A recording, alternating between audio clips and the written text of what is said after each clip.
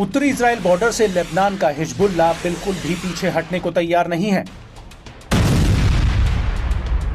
IDF ने Hezbollah के कई बड़े कमांडरों को हवाई हमलों में मार गिराया है। लेकिन उसके बावजूद भी हिजबुल्ला का हौसला कम नहीं हुआ है। बल्कि अब वो दोगुनी ताकत से इजरायली सेना के ऊपर हमले कर रहा है, जिसका तोड़ फ़िलहाल इसराइल के पास नज़र नहीं आ रहा। हिजबुल्ला का साफ़ कहना है कि गाजा से इजरायली सेना बाहर निकले, तभी ये हमले रुकेंगे। और इस सब के बीच हिजबुल्ला ने एक बार फिर से इसराइल को दो बड़े हमलों से दहला कर रख दिया है। बड़ी बात यह है कि ये हमले पाँच मिनट के भीतर हुए, जिससे इसराइल जल उठा है। सबसे पहले हिजबुल्ला ने 8 जुलाई 2024 को शाम करीब पाँच बजे जिद्दीन बैरक्स पर रॉकेटों से हमला किया, जो एकदम सटीक रहा। और इस हमले के करीब आधा घंटे बाद हिजबुल्ला ने कब्जे वाले शीबा फार्म्स के अल राहेब साइट पर गोला बारूद से ताबड़तोड़ हमले कर दिए। और जब तक आईडीएफ इस हमले से संभल पाती, तब तक हिजबुल्ला ने हैगोशरीम सेटलमेंट पर भी कत्यूशा रॉकेट का एक पूरा जत्था ही फायर कर दिया।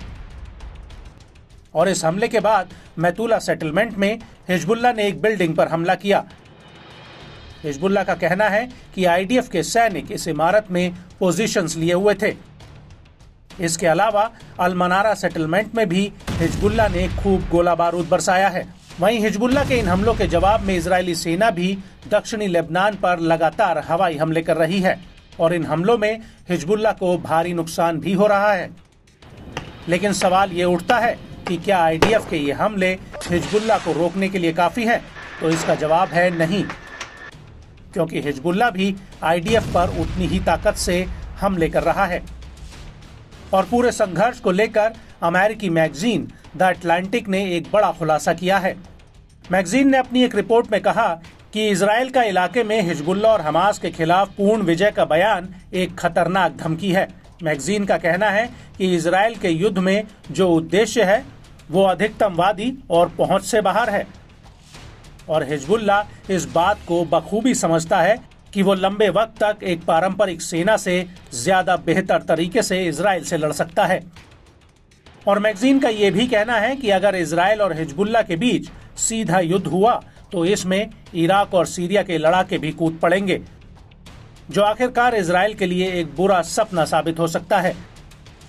और अमेरिका भी इस युद्ध में कूद पड़ेगा, जिससे मिडिल ईस्ट के हालात और खराब हो जाएँगे। मैगजीन का कहना है कि हिजबुल्ला को लेकर इसराइल की बार बार युद्ध की धमकी ये दिखाती है कि वो हिजबुल्ला के लड़ाकों को बॉर्डर इलाके से पीछे धकेलना चाहता है। हालाँकि इस तरह की कोशिशें अभी तक नाकाम रही हैं।